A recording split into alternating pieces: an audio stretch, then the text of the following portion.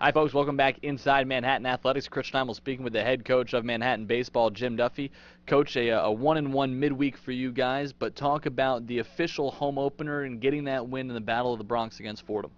Yeah, well, it was certainly nice to get out um, back at our home park. We have played there uh, before uh, as the road team, as weird as that sounds, but it was nice to put the white uniforms on and hit in the bottom half of the inning.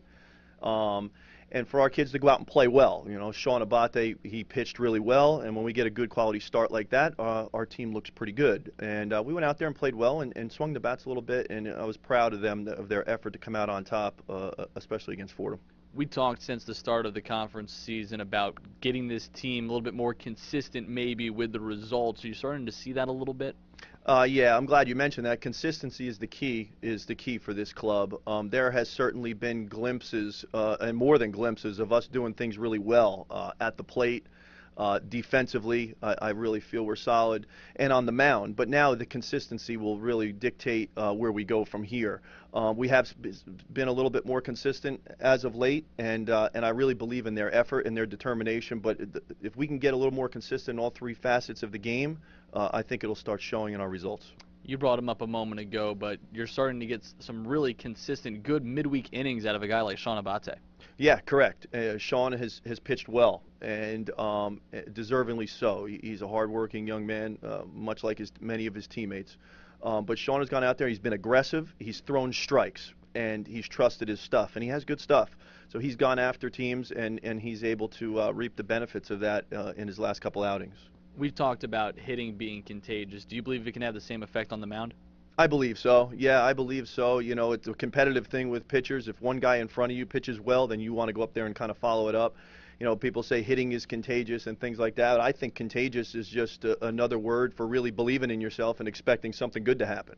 You know, two guys in front of you uh, get a hit, and uh, and then it's your time to, to get up to the dish, and now you expect to get a hit as well. So I think our, our mental toughness and our mental expectations uh, have a lot to do with it, especially when you're talking about the art of hitting. Um, it's not an easy thing to do, so the mental game is, is more than half the battle. This past weekend, not the results you were looking for, but that trip to Canisius, the defending conference champions, we talked about them having a lot of experience on that squad. For this young team to go up there and compete with a squad like that, how does that help?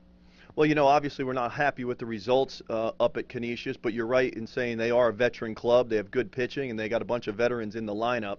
Uh, to produce runs for them, and that's how they've been winning. Our guys competed well, especially in game one, and we kind of had a heartbreaking loss. We got left on the field, and uh, we didn't rebound from that real well. Um, so, but I'm still, uh, I, I, have to be uh, optimistic that somehow, some way, that series is going to benefit us um, in other ways. It didn't help us in the win-loss column, that's for sure. Um, but I'm hoping that our young guys and our veterans, uh, you know, we learned from that series, and uh, and now we move forward and, and to try to play some more, some better, more consistent baseball. Talk about the idea of a baptism by fire for, for this squad, especially in terms of the pitching staff. Well, yeah, it, it is like that, but you know what? Those guys are out there because they deserve to be. Mm-hmm. Those young guys, and um, and and if we didn't think they were capable of getting the job done, then we wouldn't have them out there. Um, but there is, it is a fact that there's some young guys out there that are going out there and they're learning on the job. You know, the baptism by fire. There's nothing wrong with that, especially if you're mentally tough and you can kind of grind through some stuff. And we have that in guys like Ricchetti uh, and Favre. Uh, Joe Jakes and and, uh, and Simonetti and those guys. So I believe in those guys, regardless of their numbers, and uh, and they should continue to believe in themselves. Uh, and their better days are ahead of them, and um, and maybe not too far ahead of them starting this weekend. This weekend you host Iona here for a three-game set. Another team that, at least record-wise, stumbling out of the gates a little bit. Well, you know what? Um, it, it is a big series with Iona, uh, especially when you're looking at records and things like that. And I guess it is my job to pay attention to that stuff.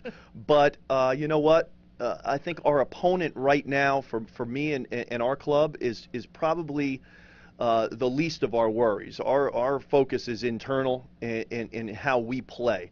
Our schedule, we've played some very good teams early on, uh, including Canisius. Uh, but those non-conference games early on, uh, we we, built that schedule so we could be battle tested. We've made too many mistakes, and good teams don't let you make mistakes uh, it's time for us to get a little bit more consistent and start reaping the benefits of that early schedule um, as we head into conference play.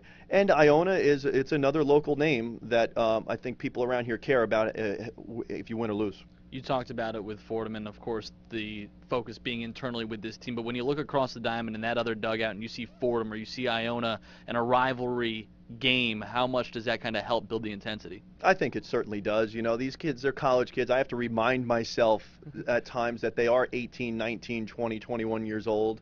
And I'm sure that's something that stuff means a lot to them. You know, I would like for us to really be focused on what we need to do, whether we're playing Oklahoma State, Oklahoma, or Iona and Fordham. Um, and, and we should play the same way with the same intensity every time. But the reality is, uh, I don't think it'll be tough for our guys to get you know fired up, and I, I, would expect our intensity to be at a high level this weekend against Iona. And the reality is, um, all the games are really important for us. Mm-hmm.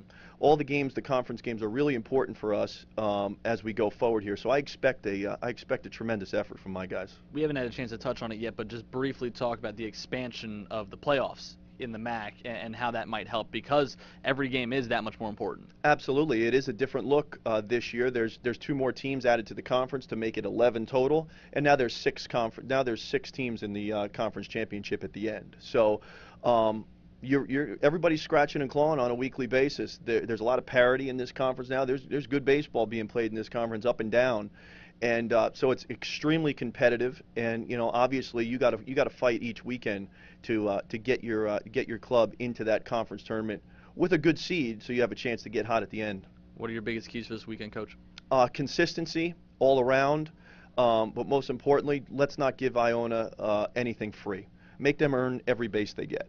Um, if we make the other team, whether it's Iona or anyone else, earn every base that they get, uh, we'll be in pretty good uh, a pretty good position to win the game. And then I think it's important for our uh, our older players, especially our position players, to to go out there and lead uh, and get some big hits when we need it.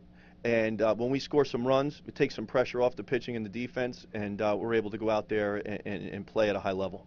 Jaspers host conference rival Iona this weekend at Van Cortlandt Park. Doubleheader on Saturday, game three on Sunday. All three games can be heard live on GoJaspers.com. Until then, for the head coach of Manhattan Baseball, Jim Duffy, I'm Chris Heimall. Thanks for joining us inside Manhattan Athletics.